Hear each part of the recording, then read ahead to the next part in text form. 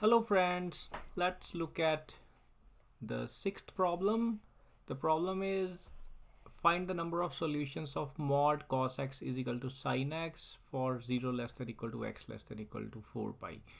So as I have already drawn as you can see um, the graphs of sin x, cos x and mod cos x. This is one of the best ways to solve such problems, right? Um, so as you can see in blue there's a graph of cos x.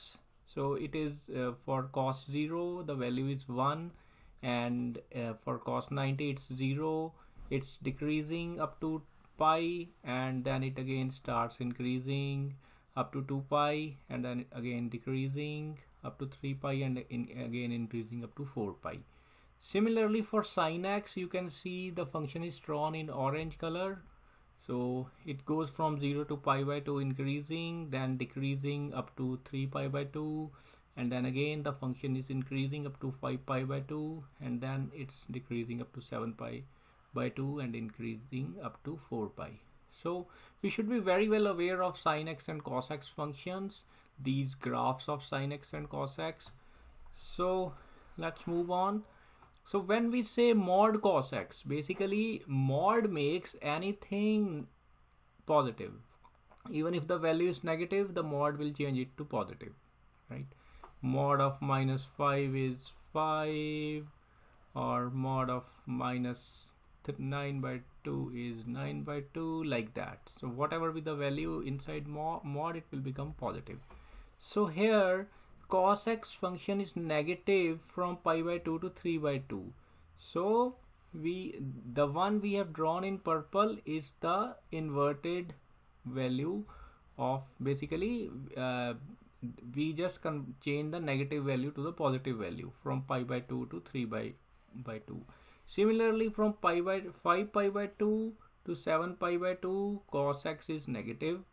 So we change it to positive so finally if I just uh, uh, draw the graph uh, for mod cos x it will be I'm just drawing it again here for you to understand properly.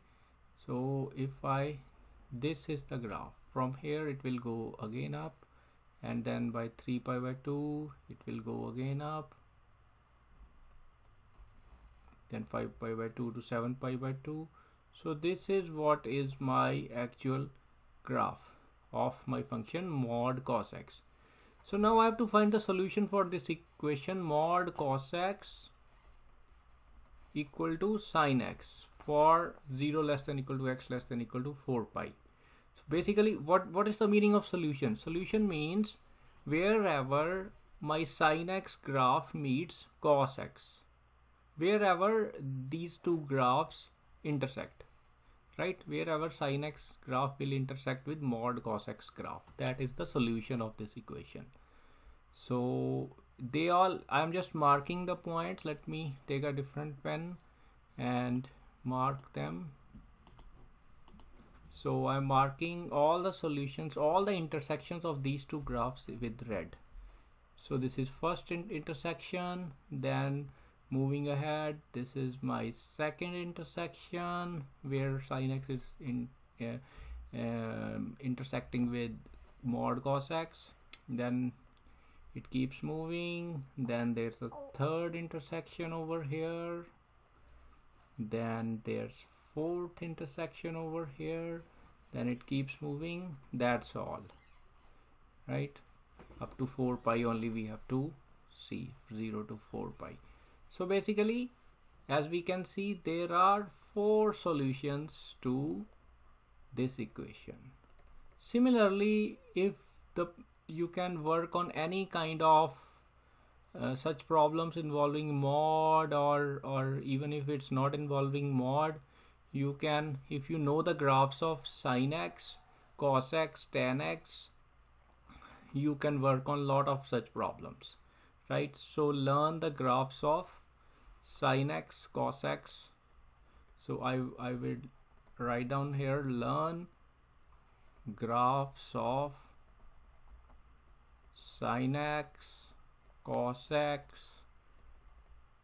tan x and try for other also secant x cos cosecant x then you can uh, try the graphs of sine square x cos square x things like that right? Sine square x plus cos square x right? You can you can expand your learning by working on these graphs right? Thank you so much for watching the video. If you like the video please subscribe my channel and share it with your friends and family so that everyone can get full value out of it. Thank you so much